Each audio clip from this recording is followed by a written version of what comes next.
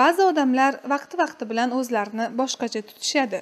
Shunda atrofdagilar ularning ichiga shayton kirib qolgan deydilar. Men bunga ishonmasdim lekin yaqin o'tgan vaqtdan beri akam shu holga tushgan. Gohida barcha qatori odamku goho o'zini bilmay qoladi. Buning sababi nimada? Chindan ham shaytondami? Va bu kasalning davosi bormi? Ho'p bu ma'noda hozirgi paytda mish mishlar turli gaplar bu yerda shayton deyilyapti ko'pchilikda jin kirib olgan degan ma'no bor. Buni dam solib o'qiydigan kishilar ham chiqqan. Odamlarni o'rtasida bir qancha demak e, shunga o'xshash savollar ham paydo bo'lgan. Lekin mulohaza qilib ko'radigan bo'lsak bu gaplar avvallarda yo'q edi. Man mana shu ish bilan shug'ullanayotgan ba'zi bir kishilarga ya'ni dam solayotgan ba'zi bir kishilarga savol berdim. O'zlaringiz aytinglarchi mana shu narsani paydo bo'lganiga qancha bo'ldi desam to'rt to'rt yarim yil bo'ldi. Demak o'sha suhbatdan bir yil o'tgan bo'lsa besh besh yarim yil bo'pti ekan. Nimaga oldin yo'q ediyu hozir paydo bo'lib qoldi degan savol chiqadi.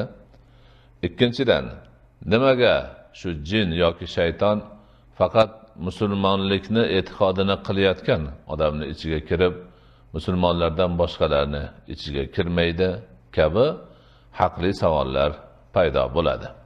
Mana bu holatda esa o'ylab ko'rish kerak o'ylab ko'rish kerak bo'ladi. Ho'p ana shu demak narsalarni jinni yoki shaytonni odamlarni ichiga kirib olishi va ularni ular e, demak kishilarga insonlarga ta'sirini o'tkazib mana bu savolda kelgani kabi e, boshqacha bir holatga tushib o'zini bilmay qolishi. Hattoki haligi o'qiyotgan odamlarni aytishicha ko'pchilikni aytishicha ichidan ovozlar chiqishi boshqa boshqa holatlar nima deb tushunish kerak? Shariatda qur'onda sunnatda ana shunday holat bo'lishi to'g'risida aniq ma'lumot yo'q. Jin shayton odamni ichiga kirib oladi. Keyin birov dam solsa ichidan o'sha jinni ovozi chiqib gapiradi va boshqa boshqa degan ma'lumotlar yo'q. Bular hamma yerda ham yangitdan chiqdi. Ba'zi bir arab davlatlarida shunaqa shov shuvlar ham bo'ldi. Lekin hozirgi kunga kelib ana shu ishni qilib ya'ni dam solishni yo'lga qo'yib odamlarni o'ziga qaratib turli faoliyatlar olib borgan odamlar biz noto'g'ri qilgan ekanmiz deb tavba qilish yo'liga o'tganlari ham bor. Man uni va o'zlarini ba'zilarini televizorda chiqib tavba qilayotganlarini kishilarga bor gapni aytayotganlarini o'zim guvohiman ko'rganman. Ho'p lekin ichiga kirib oldi boshqa qildidan tashqari jin tegishi bor. Ya'ni ba'zi bir kishilarni e, ovloqlarda yuradigan chetlarda hayolparast bo'lib qolgan e, o'sha odamlardan ajrab yuradigan o'zini biroz ibodatdan uzoq tutadigan poklikdan uzoq tutadigan ya'ni shunga o'xshagan ba'zi bir holatlardagi kishilarga jin tegishi bor bu uni demak asorati ham bor.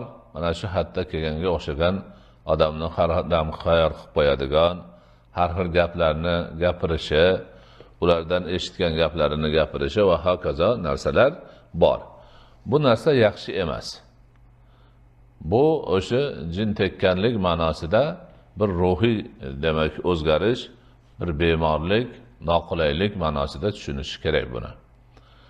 Manga odamlarim kelyapti uni gapiryapti buni gapiryapti degan ma'nolar faxr bo'lmaydi.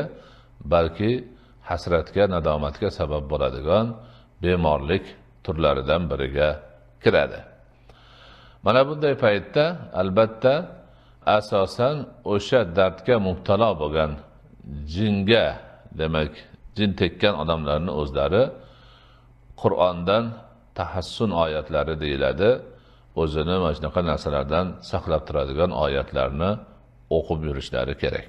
Avvalo sog' odamlarni o'zlari mana shu narsalardan ehtiyot bo'lish uchun alloh taolodan panoh tilash maqsadida oyatal kursi qul avdu bi robbil falaqi qul avdu bi robbin nasi qul huvallohu ahad va shunga o'xshash e, tahassun oyatlarini suralarini o'qib o'zlariga dam solib allohdan panoh tilab yursalar nihoyatda yaxshi bo'ladi. Bu hadisi shariflarda ham bor.